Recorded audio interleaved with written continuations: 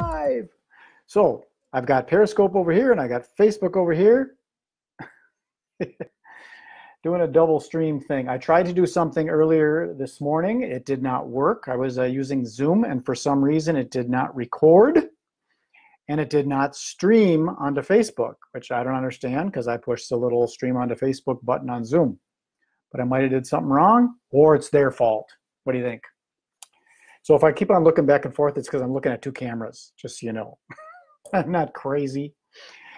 Anyways, the topic of conversation, I think, uh, is these malls. Um, I saw this about three years ago in uh, over at Ridgedale. I live in Ridgedale. Uh, I live in Minnetonka by Ridgedale Mall in the western Minneapolis suburbs. And they were doing all sorts of construction and traffic was really slow. All the kiosk people were just complaining about the there's no traffic in here. There's nobody around. They're not making sales. It's they're struggling. And I saw that things were changing. I think over in Southdale they added condominiums in Southdale. I think. I don't know. I don't live over there, but I heard about that. And uh, over in Ridgedale here, they're building condos all around the the mall, and then they're creating activities like iFly, that uh, that virtual skydiving thing. They built that here. Um, they're they're building some other things. I don't know what they are because I'm not really following on all the uh, community news and all that kind of stuff. But they've also I, I did see that they're building a park. So they're taking part of the parking lot and they're going to put grass there make a community playground kind of thing. And they put a loop on the east side of the, the mall, you know, one of those little uh, roundabouts, turner to keep the traffic flowing.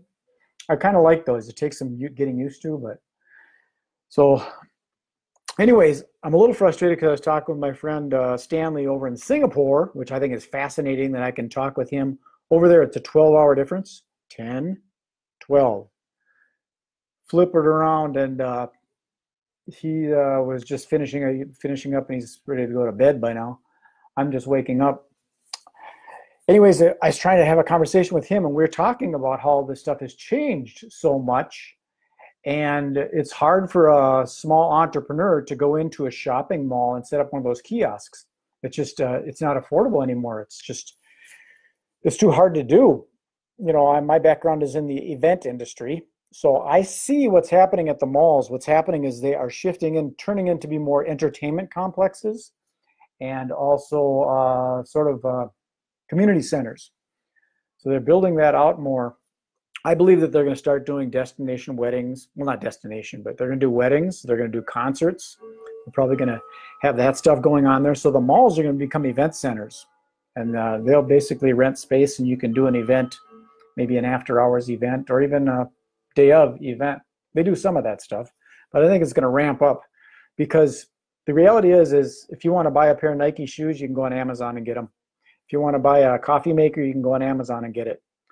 So what's happening is they're going to start doing more experiential things in the malls, maybe coffee tastings and things. It's uh, it's sort of like an infomercial, only it's live and in person. And I think that's going to start happening because uh, when you're on the internet, you don't get to smell and taste and feel things. All you can do is see and hear. And uh, it's just it hasn't got the same experience. And uh, time is a commodity, and it happens so fast now.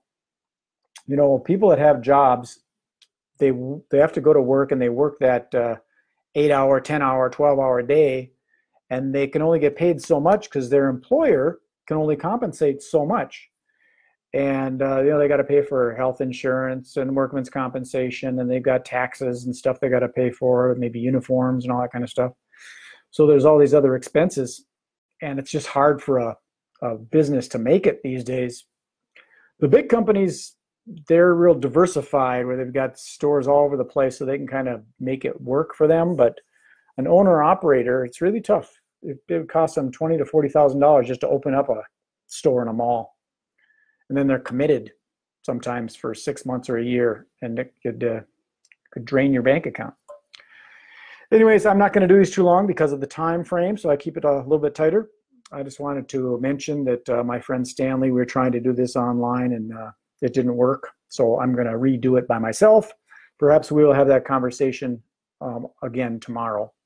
It's just interesting listening to someone over on the other side of the planet in Singapore having similar situations with all the malls and retail because of this uh, information technology that's that's happening. It's real, and uh, you may have sensed it, but it's uh, it's changing. A lot of the stuff is going online, and uh, it's, it's hard hard to get jobs these days because you need to be performance based. We've got jobs actually, in case you uh, are looking for something to do before the holidays, make some extra cash. Looking for somebody to sell ex- uh, booth space in our trade shows. However, it's commission based, so it's results based. We can't uh, afford to pay non-results. Got to have results. Okay, that's it. I'm talking too much. If you want to know more about me, just Google the keyword Magic Brad. That's it. Peace, love, and happiness. This is Magic Brad signing off. Enjoy the rest of your day. Bye, Facebook.